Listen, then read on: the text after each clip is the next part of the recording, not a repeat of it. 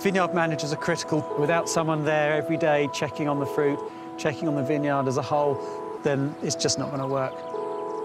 My name is Callum Finlayson. Sonny O'Connell, Mark Beeching, Tom Wilkinson. Richard Lewis, and I'm the head of viticulture here at Chapel Down.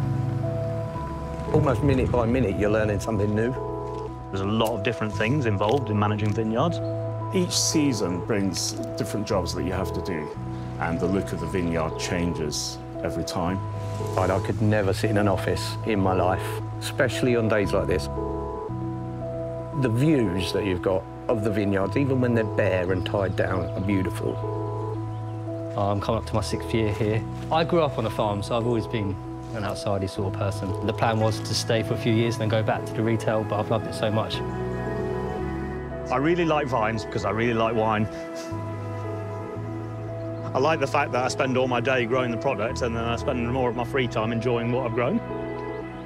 Nature is, is a wonderful thing.